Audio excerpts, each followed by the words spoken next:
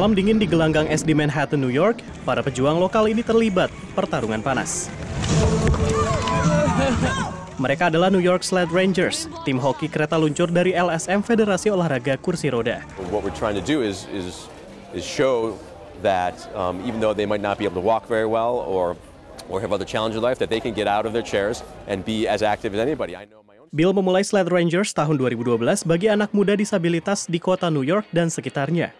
Salah satu yang pertama mendaftar adalah Michael Abrams. I just really enjoy skating on the ice and it's really nice. Hoki seluncur es untuk warga berkebutuhan khusus diciptakan di Swedia pada 1960-an. Pemain duduk di rangka besi dan menggunakan tongkat hoki untuk bergerak. Aturannya sama dengan hoki es, hanya saja pemain tidak boleh bergerak mundur.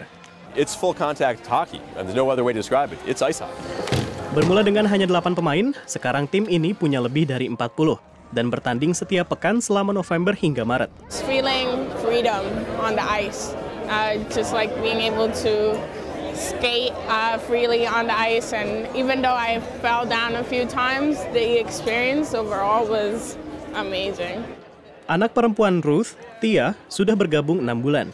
Ruth menyaksikan sendiri manfaatnya. Her confidence is through the roof, and we're very proud. And, you know, it's just great.